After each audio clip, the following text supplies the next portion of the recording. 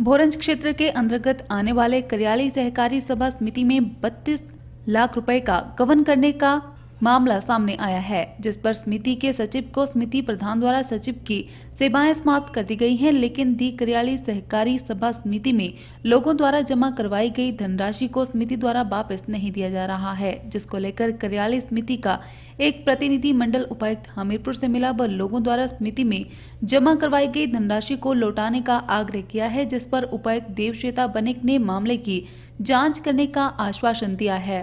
स्थानीय लोगों धर्मपाल सरस्वती देवी, प्रोमिला व अन्य लोगों ने कहा कि उन्होंने अपनी मेहनत की कमाई करियाली सहकारी सभा समिति में जमा करवाई थी, लेकिन सचिव द्वारा गमन करने के मामले के बाद सचिव की सेवाएँ समाप्त कर दी गई हैं, लेकिन उनके पैसे अभी भी समिति द्वारा वापस नहीं किए जा रहे हैं, जिसको लेकर उन्होंने उपायुक्त हमीरपुर से न्याय की गुहार लगाई है। एक्सीडेंट हुआ जी मतलब एक्सीडेंट करने में लेके आए ना। फिर मतलब पैसे उठा के के करवाए मैं जमा एफ़ डी करवाई। फिर कन्या नहीं मिली कहते, गाली गलोच देख रहे हैं। पैसे मंगने जाए ना तो मैं मतलब गालियाँ गलोच देख रहे हैं। ये है, पर कोई मतलब नहीं बड़ी गलत आज कर, बस गालियाँ देते हैं। मैं बच्चे हैं छोटे छोटे मतलब तो घर च मंग रहा ऑपरेशन हो रहा मेरी तो दिहाड़ी में दूर नहीं करती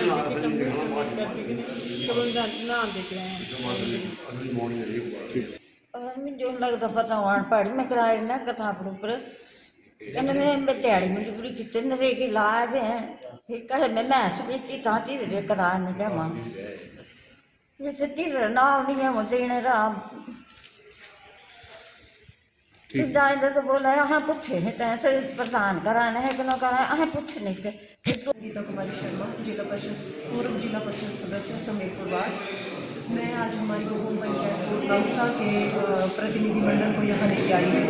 यहाँ पे ऐसा हुआ है कि ये हमारी जो करियाली कोऑपरेटिव सर्विस सोसाइटी है हमारी जो जैसे राशन वगैरह वितरित करते हैं, वो वाली सोसाइटी है ये। यहाँ पे 2015 में 32 लाख का गमन हुआ है। आज तक उसकी कोई कार्रवाई नहीं की गई, कोई उसमें अमल में नहीं लाया गया। हमारे पास बहुत सारे ऐसे हमारे बुज़ुर्ग हैं, जो एक बुज़ुर्ग है हमारे 92 टू ईयर्स के हैं। उनकी एफ़ डीज हैं आर डीज हैं, वो कब तक वेट करेंगे? उनका जो जो गमन किया गया, जिन्होंने कमेटी मेंबर्स ने गमन किया, उनको हटा दिया गया है अब। और जो नए कमेटी मेंबर हैं वो बोलते हैं कि हमें पता नहीं है इस बारे में हमारे पास पैसे नहीं है और जो पीछे वाले जो पहली वाली कमेटी थी वो बोलते हैं कि हम अब कमेटी मेंबर्स नहीं हैं तो हमारे पास इसका कोई रिकॉर्ड नहीं है। तो अ, लोग बहुत परेशान हैं जैसे मैंने आपको बताया कि 92 टू ईयर्स के हमारे दादा हैं उनके तीन बेटे थे वो एक्सपायर हो गए वो कहाँ जाए बेचारे? उनको बोलते हैं कि हरिद्वार गई हड्डियाँ नहीं वापस थी एक हमारी जो बहन है, वो उसके पति एक्सपायर हुए थे एक्सीडेंट में उन्हें चार लाख रुपए मिला था। तो दो बच्चे हैं उनके और एक वो है। तीनों के नाम में उन्होंने आरडी चला दी है एफडी चला दी कि चलो सोसाइटी है हमारी नज़दीकी है हमें पैसा भी यहाँ पे ज़रा ज़्यादा मिलता है इसका जो इंटरेस्ट है रेट ऑफ़ इंटरेस्ट है। तो इस वजह से इन्होंने वहाँ पे करवाया, लेकिन अब वो पैसे पैसे के लिए मोहताज हैं। उनको उनके पैसे नहीं मिल रहे हैं, बच्चों को पढ़ाना है पर- परवरिश करनी है आय का और कोई साधन नहीं है। बाकी हमारे और भी एक दो हमारे पास ऐसे बुज़ुर्ग हैं जिनको चार साल एक्सपायर हुए होंगे। कैलाशो देवी नाम करके एक और महानंद नाम करके हमारे बुज़ुर्ग हैं। उनको एक को चार साल हो गए मरे हुए और एक को एक साल मरे हुए हुए डेथ सर्टिफिकेट के साथ आए लोग। लेकिन उनके पैसे भी इन्हें नहीं मिले। वो जो कर्म धर्म होता है, उसमें भी हम उन्होंने सोचा कि उनसे मांगा गया। भीख मांग रहे हैं लोग आज।